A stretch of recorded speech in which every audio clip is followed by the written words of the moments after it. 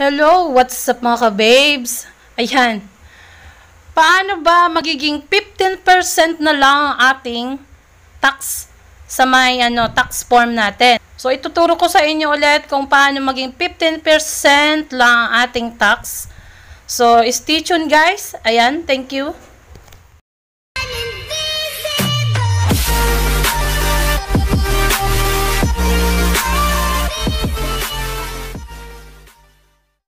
Ayan. Ayan, may nagtatanong, bakit daw ano kasi? Ayan, 30% ang ano. So, may gagawin tayo para mabawasan ang 30% na yan. Nagbabalik ako. Magsasubmit tayo ulit ng another form. Ayan. Pindutin nyo lang yan, oh, submit new form. Start new form. Start new form. Ayan na, loading. Wait lang. So, ayan guys, mga babes. Next na natin, kasi alam naman natin tama ang ating password.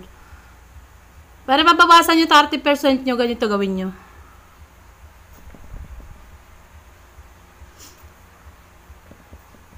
Okay. Siyempre, individual pa din. Then next.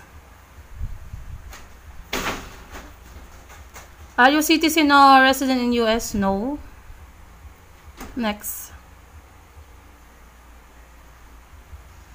W8 bin. Siyempre, nasa unahan. Start. Yan. Shh. Okay, full name. Yan ang full name natin. Yan. Full name, citizenship, Pinas, Philippines. Ganun pa din. Pero may ano lang dito, idadagdag ko para ano. Ito daw yung tin daw. Pwede daw ilagay dyan. SSS. Uh, voter's ID kung wala kang tin. Kung wala kang tin number. So, ilalagay ko yung aking SSS. Wait lang. Yan sa quarantine, nilagay ko ang aking number sa SSS. So, next na natin. Yung USST, hindi yan ano kasama, guys. Next. Oh. Another permanent address. Ito. I-check natin yan. Tapos, yung address natin, Philippines. Siyempre, ilalagay, encode ko lang yung aking address. Tanggalin ko na yung pangalawang address natin. Kasi parehas lang naman yan eh. Parehas lang sa unang address, saka sa pangalawa. O, ayan. Superb. Parehas lang pala. Ayan, Mangataram, city, hindi naman pa city yung amin. So, province, ganun din, parang pinirmahan mo din, mayroon nga lang idadagdag, mga ka-babes, para maging 15% ang iyong, tawag doon, hmm, yung tax na mababawas sa iyong sahod. Okay, Pangasinan, mailing address, check mo ulit yan. Oh. Tapos, next. Yan. Ito na tayo, dito tayo. May papalitan tayo dito, dito sa tax treaty. Dito sa tax treaty may papalitan tayo. Dati, ang pinindot ko, no. ba? Diba? Kung sino nakapanood ng una kong ano, tutorial, next tayo. Dito tayo ngayon sa yes. Resident of the country claiming treaty with the US. Yun ang pipindutin natin. Para mabawasan tayo ng tax percentage. Okay, dito, yes. Yes ang pipindutin nyo sa tax treaty. Residents, country claiming treaty with the US. Tapos, may, may pipiliin mo ngayon yung country mo dyan. So, kung saan tayo nakatira. Nasusundan nyo ba ako mga babes? I-check nyo yung, ito, resident of country claiming treaty with the US. Tapos, ilalagay nyo yung Philippines. Ayan. Tapos, dito sa baba, You may be exempt or have taxes withheld at reduced rate on a certain income types earned with the U.S. The reduced rates and exemption vary among countries and specific income types.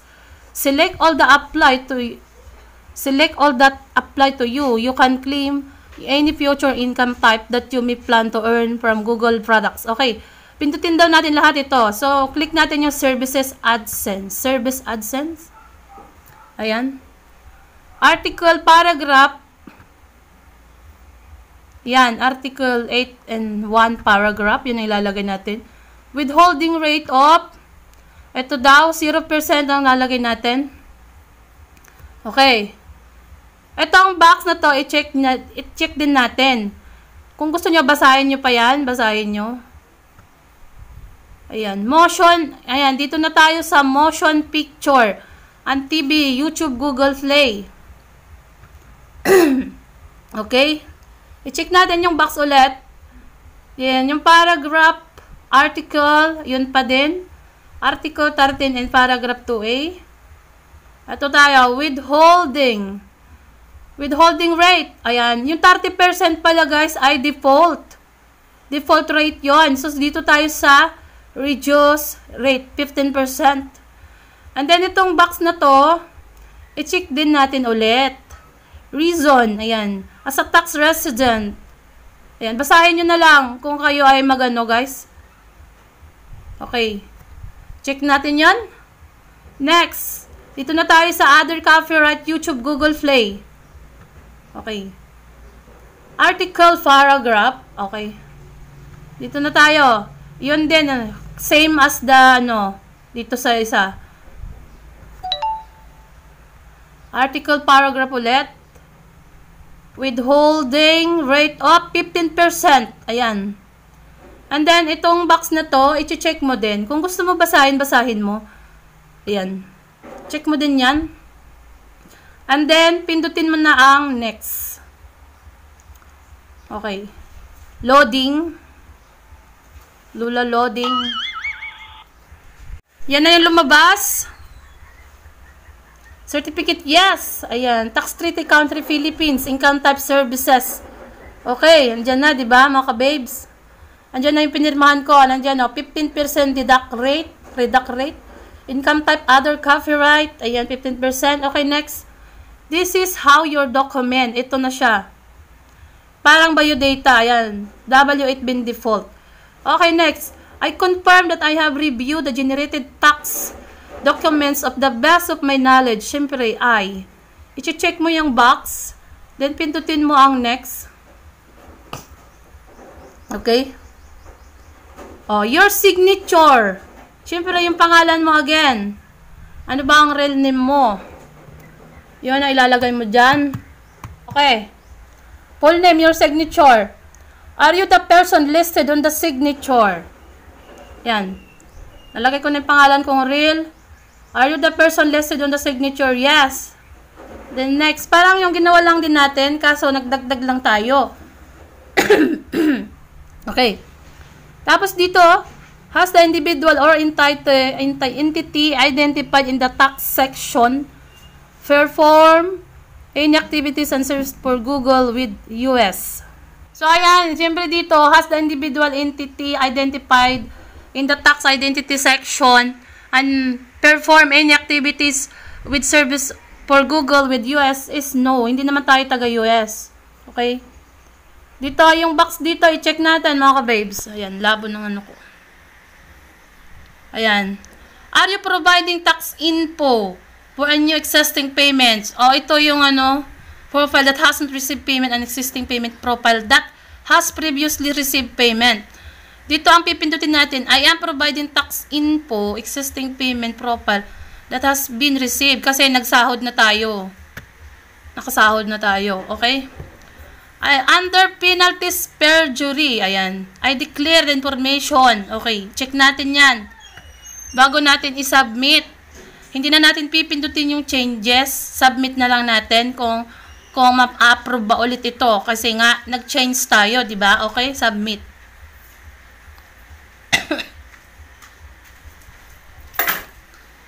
Tayo natin. Loading is real. Oh. Yes! Ayan na siya mga ka-babes. 15% na siya. Ayan.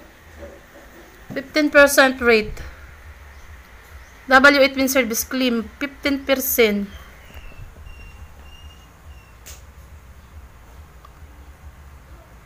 Ayun o, 15% na siya. Ganun lang po. Ganun lang po mag-change, uh, submit new form. So, hanggang dito na lang mga kababes. Sana naintindihan nyo. Okay, bye! Thank you! Don't forget to subscribe and share.